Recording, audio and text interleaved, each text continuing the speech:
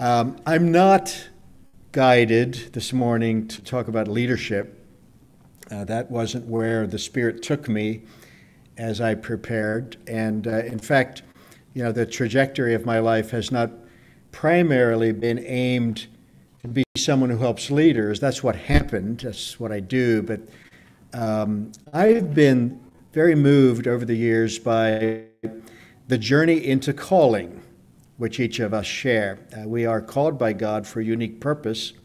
We have God's calling upon us. We are eternally living, never dying beings whom God is lifting up uh, into eternal purpose with Him. Um, I brought a little tiny, tiny book with me uh, in which I reflect on how, grow, how God grows us up into our eternal purpose. And um, they're in the back of the room, so uh, that's just a gift as, as you leave, um, uh, in which I unpack uh, through some stories that I tell more about that.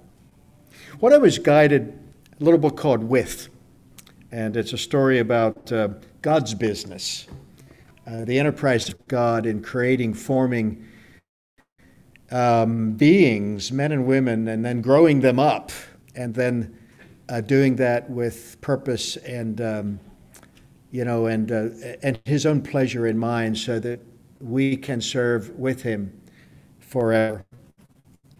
I've been guided to a, a bit of a different uh, focus today on calling. Um, uh, as I watch the events of the world, I am I am aware of the um, the ways in which the enemy deceives and undermines and seeks to ruin uh, value, uh, seeks to ruin lives, seeks to divide people, uh, seeks to uh, distort. It says at the end of the book of Revelation that one of the things that's going to happen is that Satan will be bound and thrown into a deep abyss where he can no longer deceive the nations. And praise the Lord for that. And it can't come too soon because, in fact, deception uh, is afoot everywhere. And given what I'm watching, uh, I've made a commitment that when I have opportunities to preach, um, and I do from time to time, I'm an ordained pastor in the Conservative Mennonite Conference. I'm a Lancaster boy, went to Eastern Mennonite University, um, graduated from that a long time ago and bit by bit um, have found my way back to um, my grandparents' roots with Conservative Mennonite Conference, where Malonica and I are delighted uh, to belong. Uh, as I get opportunities to preach, I, I, I, stick to fundamentals because we need the encouragement of truth. Uh, John 8 32, uh, our Lord said, uh, You shall know the truth, and the truth will set you free. It is the liar who binds us. I love the songs we sang this morning with respect to this. And I want to talk about calling. Um, and I want to do, usually I work with men and women who, who own enterprises and are trying to figure out, you know, the next step they're going to take. I want to pull it all the way back to the regular daily challenge of understanding calling and identity for every believer, which is the foundation of anything uh, that matters. I'm going to read two passages one for truth and then one for navigation on the basis of that truth. And let me start with the Ephesians text. I'm going to read um, 10 verses. We can stand that, right? And uh, starting at the beginning of Ephesians chapter 2, verse 1. As for you, uh, by the way, Paul is quite clear, so we don't have to guess what he's saying here. As for you, you were dead in your transgressions and sins in which you used to live when you followed the ways of this world and of the ruler of the kingdom of the air, the spirit who is now at work in those who are disobedient. Uh, I could simply read, you know, as for you, you and I, because we're talking about us here. Um, I won't ask for a raise of hands how many have been spoken to just now. You were dead in your transgressions. That's all of us, just to be clear. All of us also lived among them at one time, gratifying the cravings of our flesh and following its desires and thoughts. Like the rest, we were by nature deserving of wrath. But because of his great love for us, God, who is rich in mercy, made us alive with Christ even when we were dead in transgressions. It is by grace you have been saved. Lost my place. Good place to lose it. For it is by grace you have been saved through faith, and this is not from yourselves, it is the gift of God. Now start to pay attention, please, to this word work. Not by works, so that no one can boast. For we are His, God's handiwork, created in Christ Jesus to do good works, which God prepared in advance for us to do. Just a quick review. Verse 3 we were deserving of wrath nature. Uh, any teaching that is afoot that would suggest that the human person is wonderful just as they are and ought to be left alone is rooted in deception. We are deserving of wrath by nature. Verse 5 By grace you have been saved. Any teaching that suggests that we come to wholeness and healing through any other path than the grace of our Lord and Savior Jesus Christ is deception. In fact, I have come to find that um, true healing for people in every kind of brokenness follows no other path than that. Verse 9 it's not by works. You know, this is wonderful. Our salvation is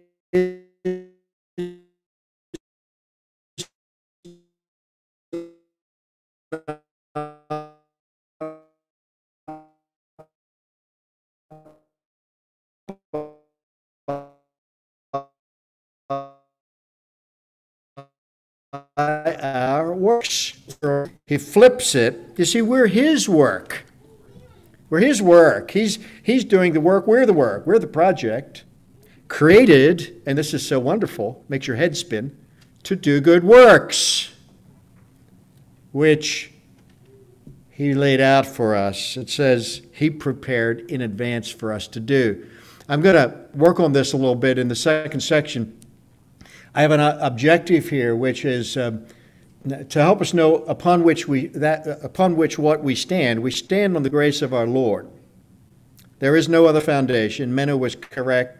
1 Corinthians 3:11. No other foundation can anyone lay than that which was laid in Jesus Christ. We stand on the grace of God. We're saved by grace, by nothing else. And we're saved by a God who is doing more than saving us. He's doing a work. He's building something in us. He has purpose in us beyond saving us from ourselves. He's saving us from our sin and He's saving us for purpose. We're talking about calling this morning. Uh, we're His work. We're, we're a piece of work, you could say, God's. And He's got good work for us to do uh, so that we don't lose our way then. The good work we're going to do doesn't save us. It is an expression of our salvation in Him. It's like the good work He has called us to do expresses the God who is now within us, who has saved us so that we can um, serve Him. And He had all of this laid out ahead of time. One of my objectives this morning, one of my goals is to reduce the anxiety we have about the worthiness of our life or the need to figure out what it is like we could ourselves figure out what it is that we're on earth to do. He prepared it for us. He took care of the whole thing from the beginning through the middle all the way to the end. Amen? Amen. And so uh, that's the Ephesians text. And um, in order to rest on that, that's the truth text, uh, I want to tell you a story from the book of Matthew. Um, I'm not going to read through it, but uh, in Matthew chapter 11, it's in your bulletin, uh, first um, 11 verses. Something very interesting happens.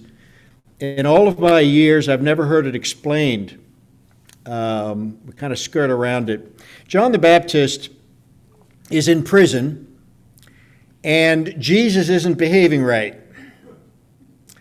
According to what they thought the Messiah was going to do, they thought the Messiah was going to come in on horseback. They thought the Messiah was going to re-seize the, the throne of David, reestablish the kingdom, kick out the Romans, and it's going to be awesome.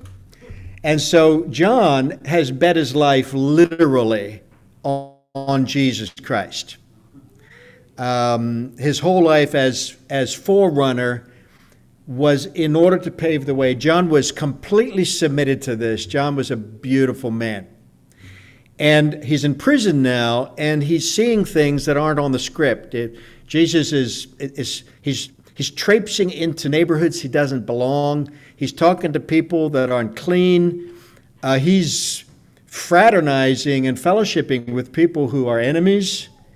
And John is nervous, and, he, and Jesus doesn't own any horses. And so he sends his disciples to Jesus, and you know this text. They come to Jesus and they say, uh, Jesus, you know, John wants to know, are you the one, or should we be looking for someone else? You remember this? Are you him, or should we be looking for someone else?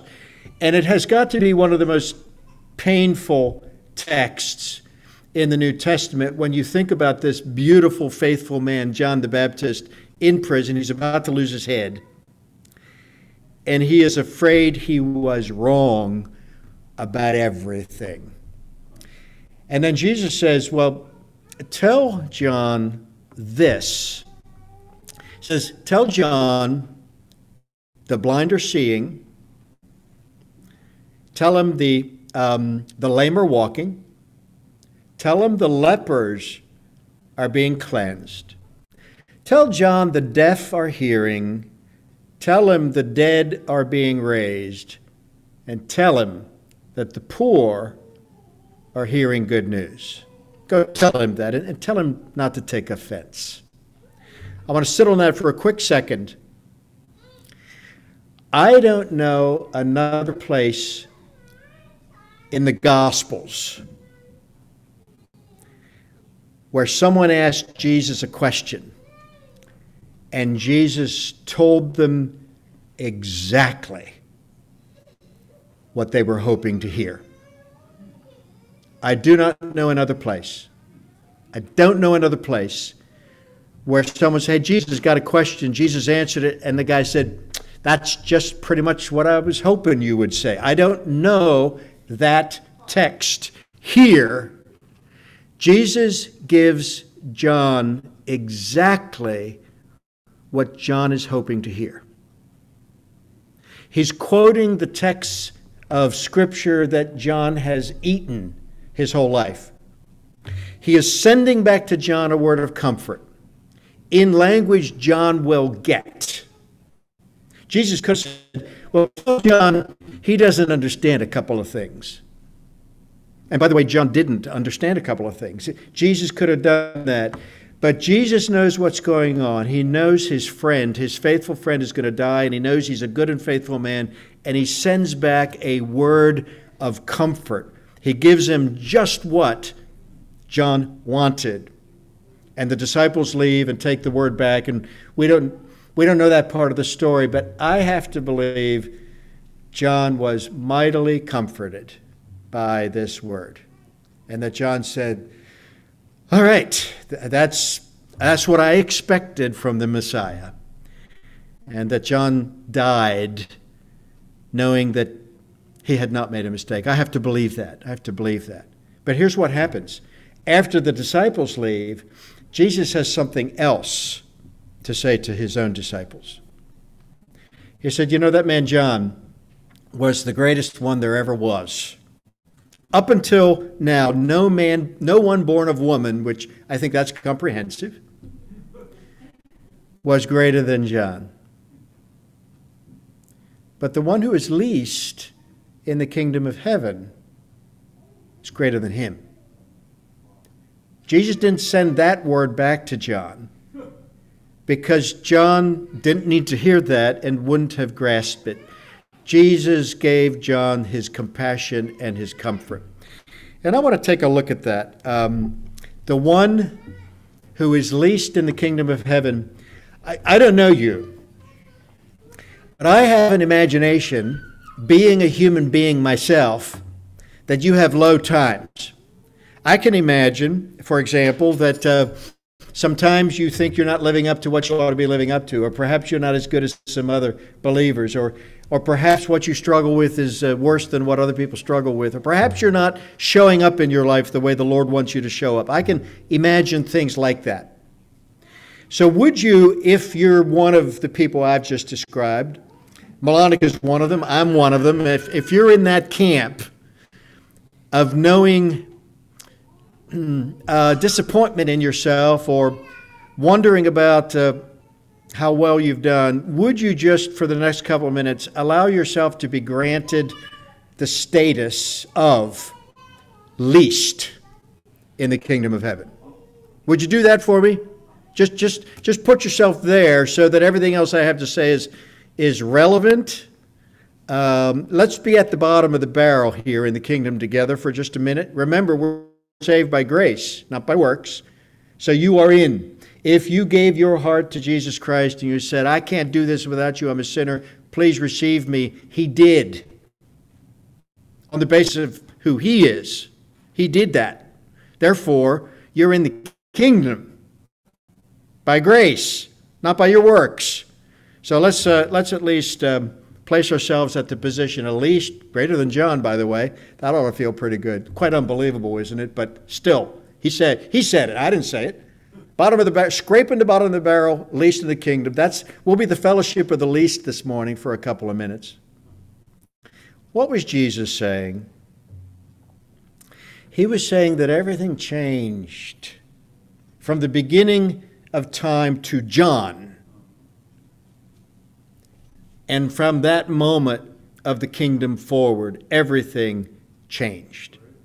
And I'm, I'm just going to short circuit it I'm going to make it quick and easy. In simple terms, in the light of Jesus Christ and his salvation, we now have Christ in us. No more of the performing, no more of the obeying uh, in order to be acceptable, no more of the going back to make another sacrifice, no more of the keeping score of have I, have I done enough to get the sins forgiven that I am not damned. No more of that. It's a new day in Jesus Christ where He is the, the sufficiency I seek, and He resides here. I didn't bring you all the texts, but let me just read you a couple of them. Paul, 2 Corinthians 13, 5. Don't you realize Jesus Christ is in you? He's in you. Romans 8:10. Christ is in you. 2 Corinthians 4 6 and 7. We have this treasure in jars of clay to show that this all surpassing power is not of us, but of Him. Let's locate ourselves. We're the least at the bottom of the barrel. We're the jars of clay in that sentence. We have this treasure in jars of clay. Galatians 2:20 it is Christ who lives in me. Colossians 127, Paul's talking about the mystery, the mystery now, in light of his arrival and his introduction of the kingdom and his death and resurrection and the grace that now restores us, redeems us from our sin. He says, the great mystery is Christ in you, the hope of glory. Now, what does this mean for us in terms of our calling? Uh, what it means is that the ancient dualism is fractured. Christ is here. He is resident within you on your worst day, worst night. He's present. And He's working out His purposes to His glory and to His pleasure. The devil wants to tell us the other story. You're no good. You're not worthy. Nobody likes you. You don't measure up. You know, you really blew it. God had more for you and you let him down. The devil is saying this to us all the time. By the way, he tried it with Jesus too in the wilderness. The devil is a liar. Um, uh, read the scripture to me the other day. He's been a murderer from the beginning. There is no truth in him. The truth is you're saved by grace, lest you boast. And the truth is, from the standpoint of calling, he takes care of it. If I had time, I would ask each of you to share one person that you believe is really living out their faith in a way that's fantastic, as compared to you, understand. Bottom of the barrel, we're the fellowship at the bottom of the barrel, okay, just for today, least in the kingdom. And I would hear wonderful names. I would hear Billy Graham, and I would hear, you know, I, I, I might hear Dave's dad. I don't know. I, I, I would hear names, wouldn't I? Harold, uh, people who are really doing it and you would have you would admire them for their faith and for their love and various things. Um, let me give you one. I've been a big admirer um, uh, through the years of what happened in South Africa. One of the only times in history when an oppressed people, now it's gone downhill, but at the beginning, an oppressed people threw off the shackles of their oppression and became the leaders and didn't create a bloodbath across the nation. Usually, revolutionaries just want their turn being oppressors. And um, Nelson Mandela came out of prison and um, he put together, along with Bishop Desmond Tutu, a, a ministry of reconciliation to allow for healing. And it, in history, it was a remarkable thing. Okay, Nelson Mandela uh, you may not know he was a believer. Nelson Mandela, not a bad guy, right? He did something worthwhile compared to the rest of us, you and me. Oh, wait a second. How did he come to Christ? Uh, do you know that story? Do you know, do you know about the, um, the young man who introduced the true Jesus to Nelson while he was in prison? Do you know about him? Yeah, you don't know about him. Um, you know about Nelson. You don't know about the boy. Young man, he was the son of the warden. Son of the warden, a white young man, Bible studies with Nelson Mandela, and led him to Jesus Christ, introduced him to forgiveness, introduced him to the themes of Scripture where forgive us our sins as we forgive those who sin against us. Antidote to cancel culture there. South Africa did not carry out cancel culture. And, um, and so you didn't know about him. So there was a young man who went faithfully to the prison to do Bible study. He had a pretty good calling, didn't he? But wait a minute. How do you get a young man like that? Nelson Mandela was an astute judge of character, a perceptive and astute man. I had the, the pleasure, the privilege of spending a couple of hours in a room with him. Black South African leader of the revolution sitting at the feet of a young white guy whose dad is the warden. Why would Nelson Mandela even sit there? Except that he saw a good boy. He knew a good heart. And he made the decision that outward appearances, outward appearances notwithstanding, part of the oppressor class, young white. This was this was an honorable young man, and he submitted to teaching. How do you get a boy like that? I suggest to you he had a very good mother. I don't know how you get a, a boy like that who is a boy of that character without a really good mother and father. And so when she was washing his diapers, was she thinking, awesome calling I have? Or was she thinking she had fallen short of the grander contributions others were making to the kingdom? The good works that He has called us to, He has shaped for us from the beginning of time. What's your day going to be like tomorrow?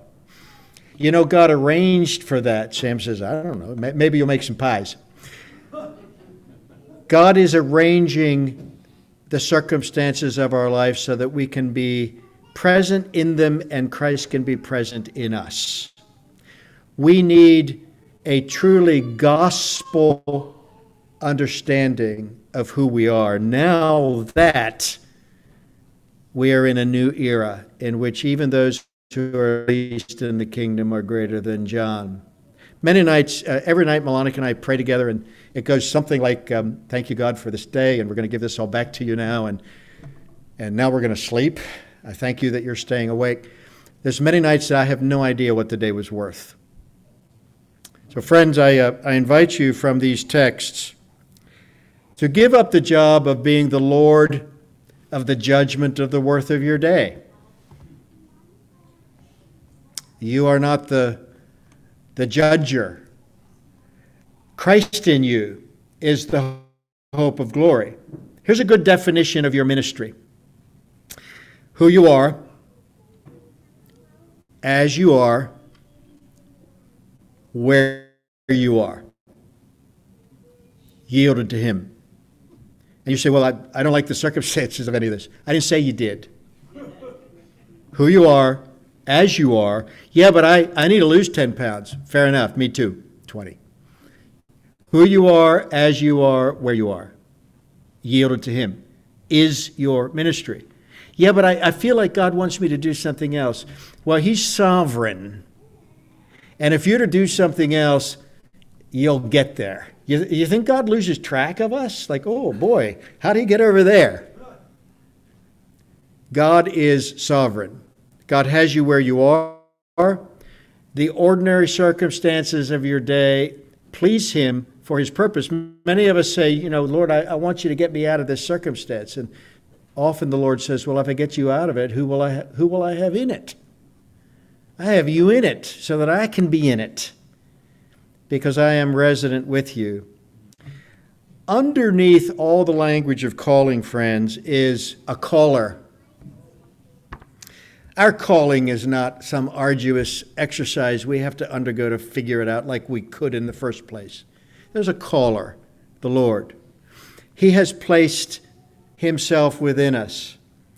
Uh, the circumstances of our day are kingdom circumstances. The locations that we find ourselves in are missional locations. Jesus would like to be fully deployed through you where you are. Many times, at the end of the day, we don't know what he did. Really, I think our chief problem as believers is that we would like to know what he did.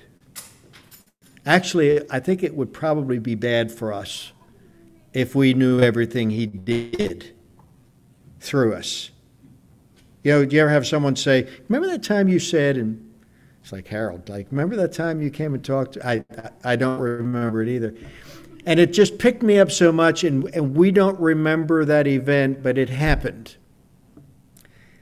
We do not need to know the value of our life to Him because He has established it. We're on a need to know basis. And so, my, uh, my uh, encouragement to you is keep it very clear. Outside of Christ, we are deserving of wrath by nature. Let's not get on our high horses here. It is by grace that you have been saved, not by works, lest anyone boast. We are God's handiwork, created to do good works, oftentimes in the middle of a quite ordinary day with trouble. Created to do good works, which He established for us from the beginning to do. And I, I charge you to go out into your day as you are, yielded.